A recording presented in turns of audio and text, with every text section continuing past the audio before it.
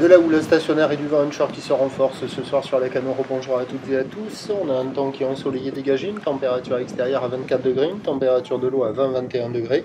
La marée est actuellement en train de monter, le plein eau est à 21h25 avec des coefficients de 56. Sur cette marée qui est actuellement en train de monter, bah, le vent est onshore, il est plein euh, nord-ouest. Il y a trois beaux forts établis au bord, il y a un petit cadre sur le large. Hein. Sur le large, il y a de la petite moutonnerie.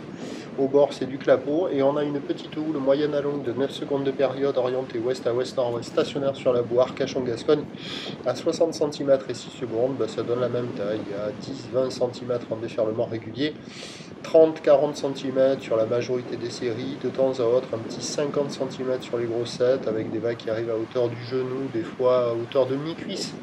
Bon, en dégradation, c'est moche, c'est pas terrible, mais ça reste praticable hein, pour un débutant équipé d'une planche adaptée. Ça arrive à glisser, c'est ce qu'il y a à l'eau, hein, pratiquement sur euh, toutes les zones ça vaut toujours la note de 1 sur 5, c'est pas terrible. Et pour la fin de journée, bah, ça va rester comme ça, avec un train de houle stationnaire, et un vent qui va se calmer un petit peu sur la fin de journée, sur la fin du montant, mais pas de conditions folles folles. Pour demain, samedi, ça va être le retour du surf a priori, sur un train de houle qui va s'amplifier tout au de la journée avec du vent offshore qui est prévu sur la première partie de journée. Attention à l'indice de confiance fait pour la taille le matin, pas sûr que ça rentre aussi vite que prévu. Et pour le vent aussi, pas sûr que le vent y tienne offshore à la mi-journée. À voir. En tout cas, la situation anticyclonique est plutôt favorable pour que ce soit du vent offshore. La bouée côtière de Brest, pour le moment, elle n'est pas énorme. Hein. Elle est à 40 cm et 6 secondes.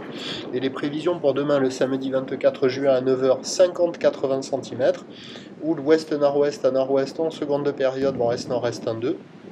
À 13h, 80 cm 1 mètre ouest-nord-ouest à nord-ouest 10 secondes de période, vent d'est 1-2. Et à 17h 1 mètre, houle ouest-nord-ouest à nord-ouest 9 secondes de période, vent de nord 1-2. Bah, il y a du surf et de l'action toute la journée. Indice de confiance fait pour la taille le matin, indice de confiance fait pour le vent à partir de la mi-journée.